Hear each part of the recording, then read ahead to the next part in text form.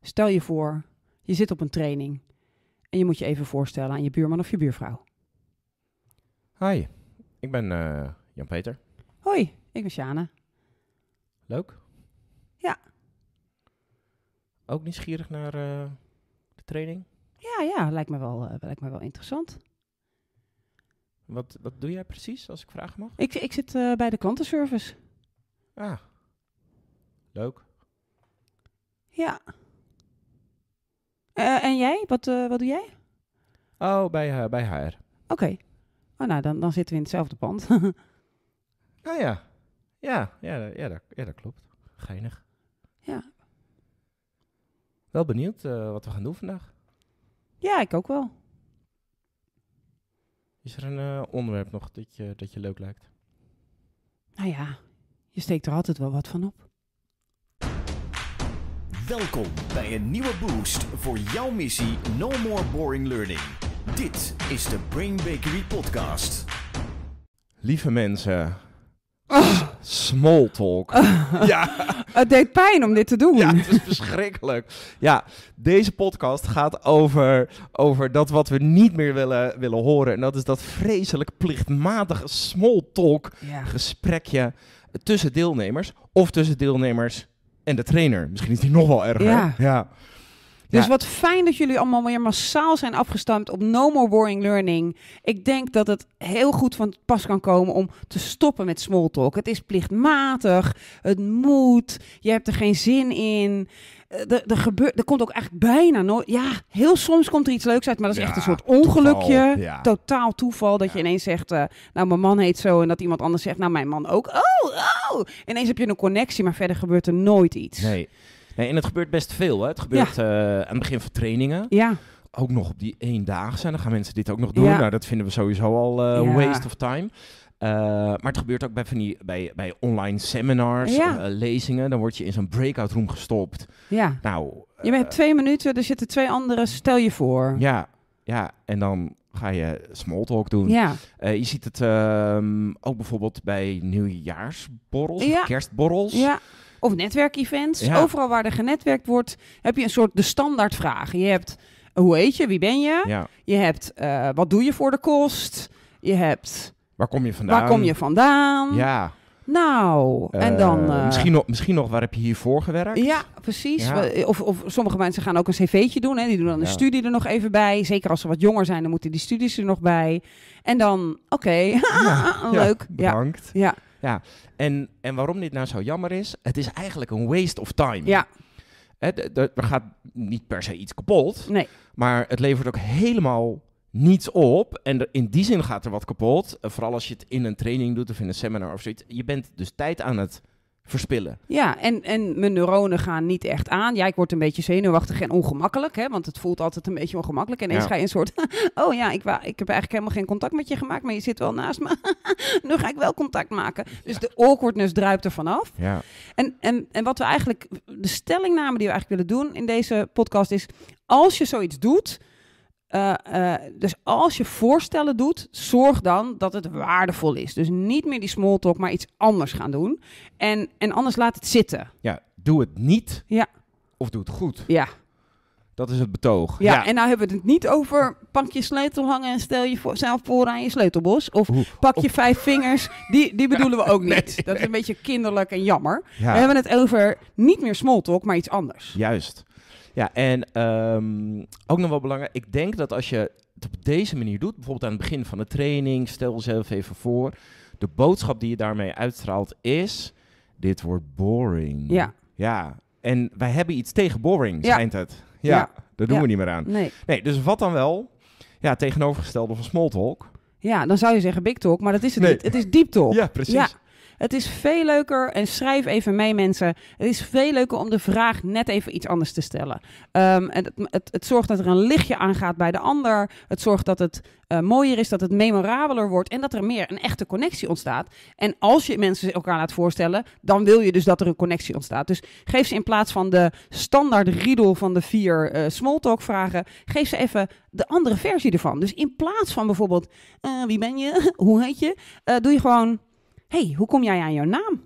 Oeh. Hey Shana, Ja. hoe kom jij aan jouw naam? Nou, ik, eh, ik heet eh, voluit Sjane Marie. En dat zijn mijn twee oma's.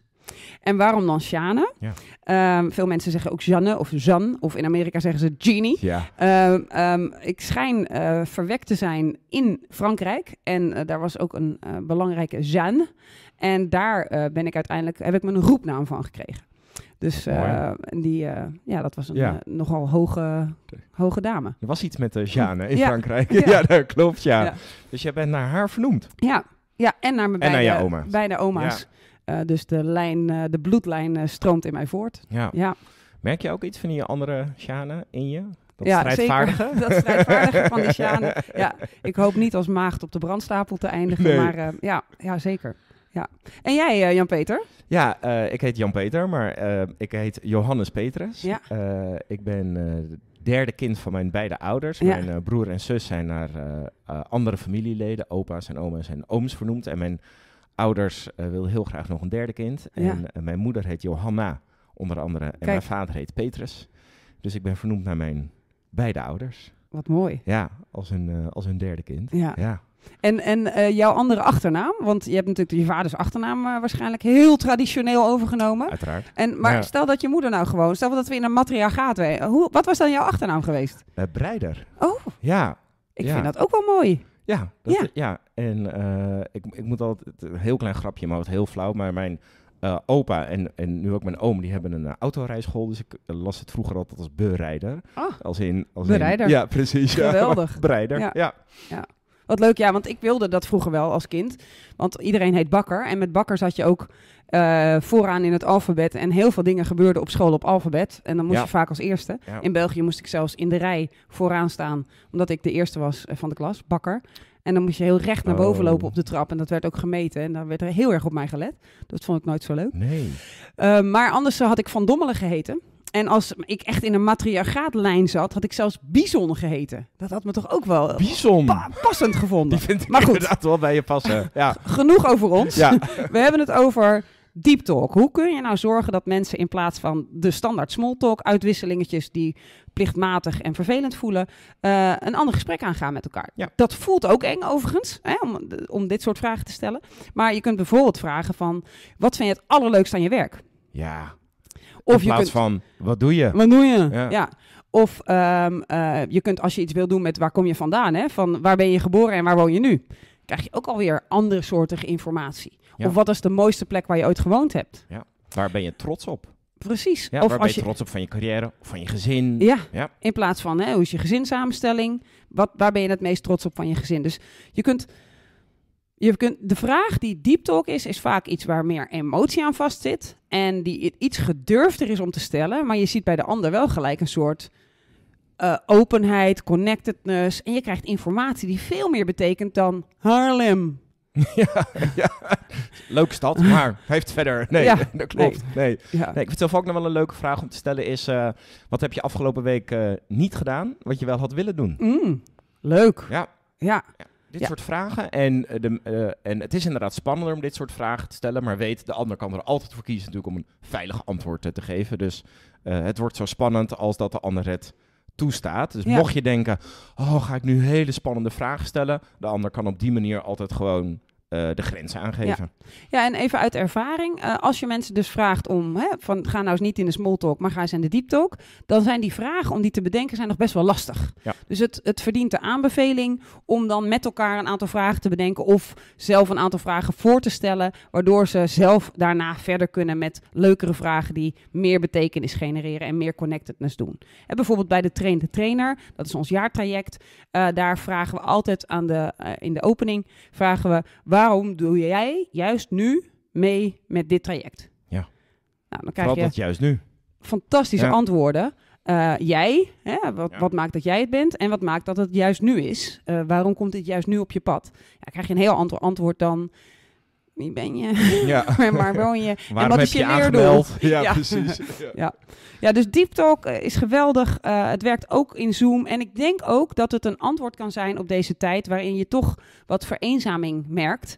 Als je dan degene bent die gewoon drie diep, deep Talk vragen in je, in je zak heeft en die gewoon stelt, dan zie je ineens iemand tot leven komen, Ja. iemand wakker worden en uit de boringness stappen. En dat is wel een doel. En het is opleidingskundig ook nog slim, omdat eh, deze vragen en vooral ook deze emoties eh, creëren, of deze eh, reacties creëren natuurlijk veel meer emotie. Ja.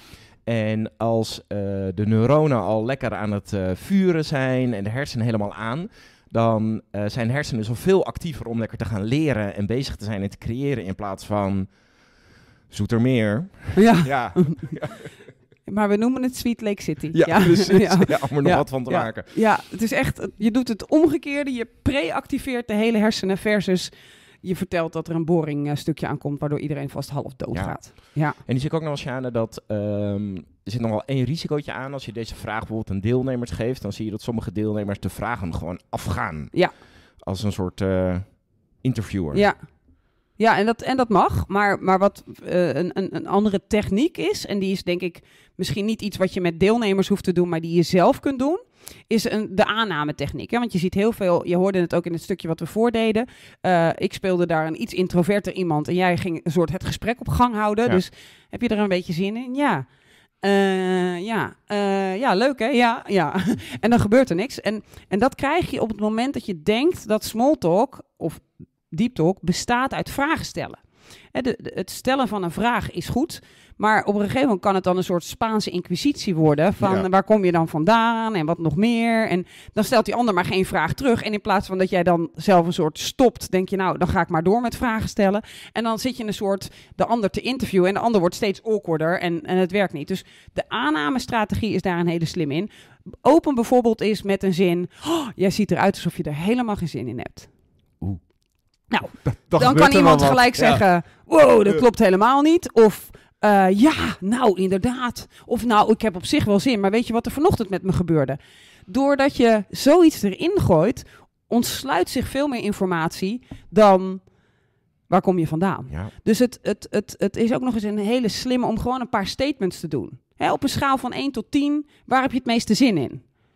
Eh, het is heel moeilijk om te zeggen alles. Ja. Hè, terwijl, terwijl in zo'n small talk praat je, hè, ik heb dat zin in alles, je steekt er altijd wat van op. Dus het, het, het zorgen dat je tegen de ander iets zegt waardoor die even stelling moet nemen, omdat jij een beetje stelling neemt, je ziet eruit alsof, kan een hele sterke zijn. Lekker. Dus weg met die small talk Ja. eh, vragen. Die, die, die niets creëren. Hoogstens een keer een toevalligheid waardoor je gemeenschappelijkheid eh, ziet. Ja, Andere vragen. ehm, en andere technieken. Ja. Aannametechniek. ja gewoon een statement doen. Ja. Wat een gave gimpen. Dat is een, een hele Ja. andere dan iemand kan dan wel zeggen ja, ja, maar meestal denkt iemand dan oké, nu moet ik iets vertellen over wat ze kosten Ja. in Nederland of waarom ze zo gaaf zijn of oh, ik ga heel bescheiden doen dat ze niet zo gaaf zijn, maar er ontstaat iets anders dan nou, hoi, waar kom jij vandaan? Juist. En onthoud, eh, de neuronen gaan veel meer vuren. Dit is de boodschap die je als je je deelnemers onderling, of als jij met je deelnemers je zo gaat voorstellen, je zo gaat connecten. De boodschap is, dit is no more boring. Juist. Dank- Wat een prachtig einde, Jan-Peter. Waar ben je eigenlijk geboren? Laten we het daar niet over hebben. Eh, dit was de podcast van eh, deze week. Bedankt voor het luisteren. Sjane bedankt. En heel graag tot de volgende keer. Welkom bij een nieuwe boost voor jouw missie No More Boring Learning. Dit is de Brain Bakery Podcast.